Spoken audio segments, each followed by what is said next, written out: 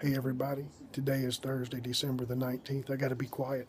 We're at WBKO. We're getting ready to go on the air and talk about the Snowman Splash, Freezing for a Reason. It's going to happen on January 1st, 2014, right here in Bowling Green. We're going to be over at the KOA campground. We got a beautiful campground. We're going to jump in that lake and freeze a little bit for a reason to help save our kids coalition, keeping kids off drugs. I'm right here with Amy Stillwell. Say hi, Amy and she brought me this really cool gear today. I got my Snowman Splash jacket. I got my Snowman Splash shirt on, and on the back of this shirt, we got all kinds of cool logos from all the sponsors. You know, there's the logo. We've got Zija, Independent Reps, Team Rhino, and Team Crown Elite. We've got Allied Energy. Let's see here. We've got Independence Bank, Dunkin' Donuts.